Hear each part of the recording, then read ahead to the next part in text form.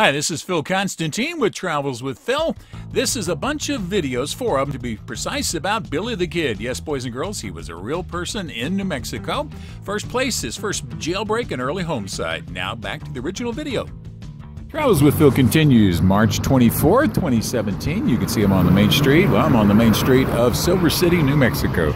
And the site of this uh, warehouse here for the uh, Forestry Service is where there once was a jail. And at the age of 15, Billy the Kid was arrested for stealing from a, a Chinese laundry.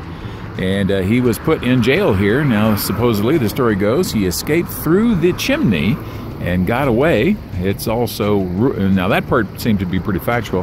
There's also rumors that uh, this was one of his first crimes where he either killed somebody or knifed a, a Chinaman, as they say locally. And uh, nobody can confirm that, but uh, this is a, definitely the spot where he made his first jail escape at the age of 15. And we'll put you on pause for more. All right, continuing on here. This right here is not Billy the Kid's house. Actually, Ron Howard used it in the movie The Missing. That was with uh, uh, Tommy Lee Jones, and uh, was made here in New Mexico. Had nothing to do with Billy the Kid, but it says here Billy the Kid lived in a small log house on this location for uh, two years. He lived with his mother Catherine, who died uh, a few years later, and or actually during that period of time. And uh, the cabin was torn down quite a long time ago, but this is the site where he allegedly lived as he was a young man. And his mother is buried here in Silver City. Come inside so you can see how could this face actually be the face of a bad guy? Billy the Kid, uh, Kid Defense Fund. Actually, I use it to help pay for the repairs on the cabin. Uh, there you go. Right. Travels with Phil in Silver City, March 24th. Back to you. And now over to his mother's grave, also in Silver City. March 24th, Travels with Phil goes to the Memory Lane Cemetery. And this is Catherine Antrim. And she was also Catherine McCarty Antrim. She married again. This is Billy the kid's mother. Somebody put a picture of Billy the Kid down here. Says, "Love you, mom. Your son Billy." Hmm. For those of you who are really interested in Billy the Kid, it's one of the few graves associated with him that seems to be verified as real. All right, from Silver City, New Mexico. Back to you. All right, now to a cave that some people swear he used as a hideout with some other folks. Phil continues. I don't know if this is the cave that everyone talks about, but this is definitely a cave. Keep you out of the wind, at least. I'm moving so much. Trying to keep from falling over. There's a cave, and we'll just move up here a little bit. We meaning me and the camera, so that is a plural.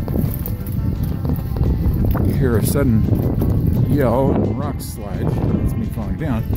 Alright, supposedly right up there, that tree with no leaves, right up in there, is the wall where they supposedly had their initials.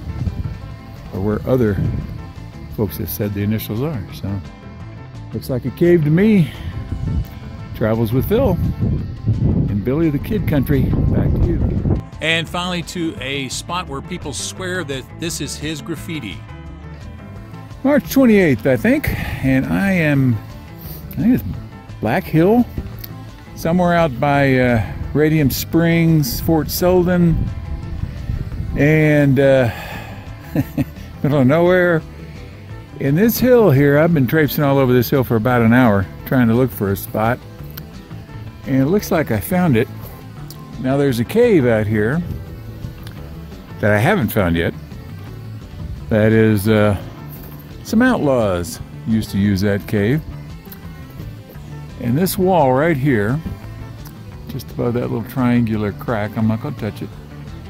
You see that up there? It sort of looks like a B.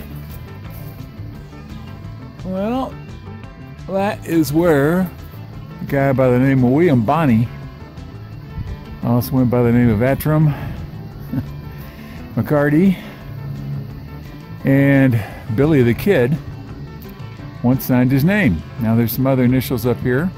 Now they've been out here for what 125, 150 years, something like that. So there's not much of an overhang here. I mean, there's a little bit of one, but it's been pretty exposed to the weather. There's a hackberry tree out here, so some of the locals say. Sort of blocks it off a little bit. But uh, that's where they sign their names, and it's worn down. There's uh, some more up here. Some other initials, I write them all down in the description.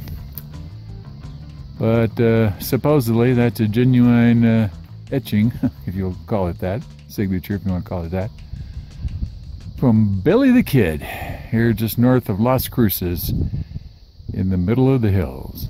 Travels with Phil, back to you. All right, thank you very much for watching. And if you'd like to subscribe, just click this button over on the right hand side, the picture of me standing out there in the wave. Thanks a lot. Come back soon.